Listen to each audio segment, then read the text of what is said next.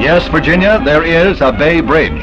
The dream of many generations of Virginians comes true as the great Chesapeake Bay Bridge and Tunnel Complex is dedicated. The 18-mile crossing has four man-made islands connected by tunnels to allow ships to pass overhead. The rest is trestles, causeways, and two high-level steel bridges. This is the last link that permits motorists to drive the entire length of the coastal highway from Maine to Florida without using ferries. There is no ribbon cutting at the dedication ceremonies, but one cut is pointed out. It will chop the 95-minute ferry crossing to 25 minutes. There is a toll, of course, but the $4 charge for car and driver saves time, gasoline, and frazzled nerves.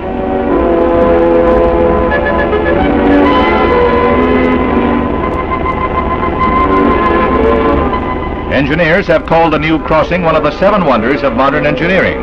It was nine years from drawing board to completion at a cost of $140 million. It's Virginia's link to the future.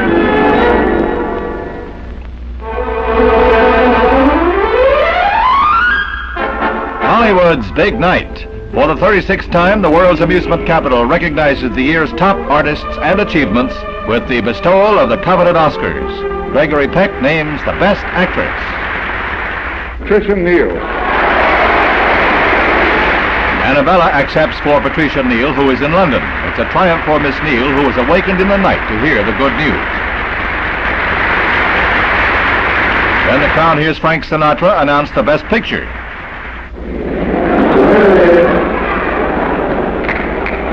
Tom Jones, Tony Richardson. David Picker accepts for Tony Richardson, who is also in England. A dramatic moment, Anne Bancroft names the best actor of the year. The winner is Sidney Poitier. Mr. Poitier is the first Negro to win such a high award, and the announcement is received warmly by the audience.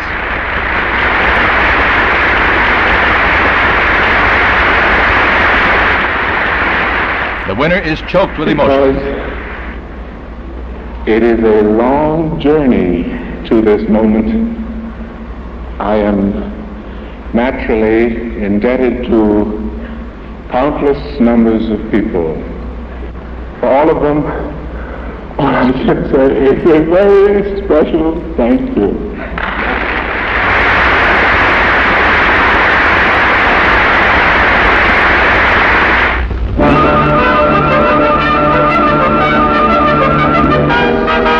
Mexico City is rolling out the red carpet and all the trimmings for the royal family of the Netherlands. At the airport, Queen Juliana is welcomed by President Lopez Mateos, who also has a warm Latin greeting for Prince Bernhard. The reception of the Dutch rulers is as wild and enthusiastic as the Mexican people can make it. Here it is spring, but it looks like snow in Mexico City.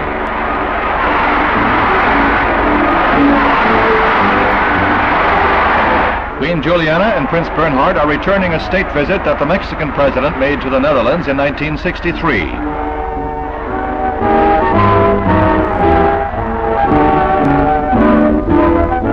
At the Queen's special request, a side trip to the famous Teotihuacan ruins was arranged. This is one of Mexico's outstanding examples of ancient pre-Aztec culture. The warmth of the people brought tears to the eyes of the Queen and Crown Princess Beatrix. It was a right royal reception for the visitors from overseas.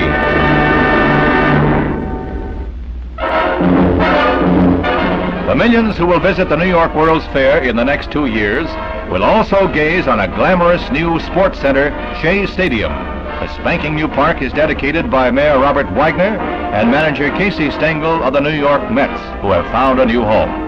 At the ceremonies, World's Fair President Robert Moses wishes his neighboring tenants good luck.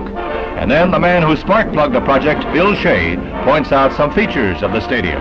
This includes movable stands that will swing into place when the New York Cinderella football team, the Jets, take over the park next fall. Okay now, let's go Mets, let's go Jets.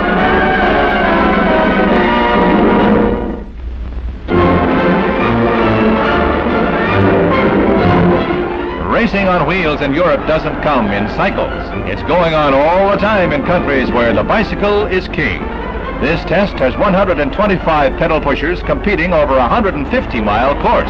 It's tough on both men and machines, but sometimes it seems the men stand up better than the machines. The winner is a German, Ludwig Altig, who proves that he really has a peddler's license. Down south, South Europe that is, a couple of dozen motorcyclists tackle one of the toughest competitive courses ever built.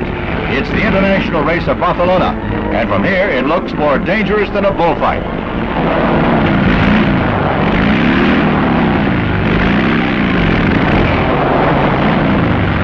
The race is nearly 20 miles if it was a straight line, but they must bounce twice that distance. I'd rather take the train, or walk.